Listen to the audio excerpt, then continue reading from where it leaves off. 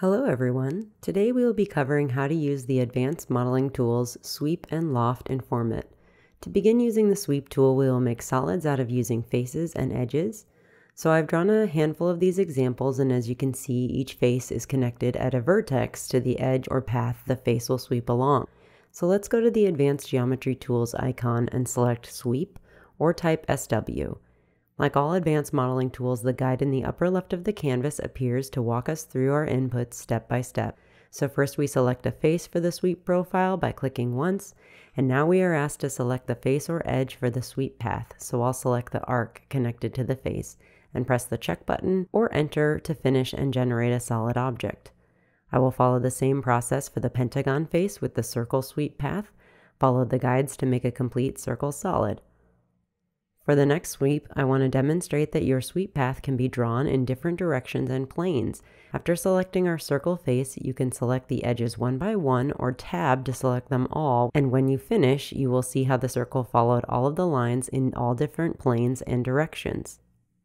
Since this tool works with faces or edges, when you sweep only edges along an edge path, notice that the edge only creates faces and not solids. FormIt has been developed as a solid modeler, so it is best practice to build objects as solids when at all possible. You can also sweep from a solid face. So I have a cube, and by selecting the face and then the arc path, when you finish, your cube has now been extruded along the arc. Next, let's try the loft tool. To demonstrate this, we will need at least two faces or two edges. I've created a series of these to demonstrate, so let's start with these arched edges and go to the Advanced Geometry Tools icon and select Loft or type LO.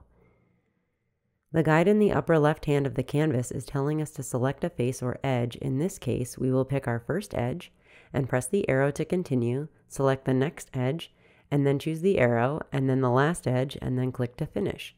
You can input as many edges as you need, and now you can see how a face was created or lofted over the selected edges. Now let's try the same thing with these faces that are parallel to each other in the z-axis. When we use faces, we will generate a solid, and since you can only choose one face at a time, the guide doesn't need an input between each selection. Once all of the faces are selected, press Finish, and the solid is created. That's it for FormIt Advanced Modeling Tools Sweep and Loft. Be sure to check out more videos on the FormIt YouTube channel.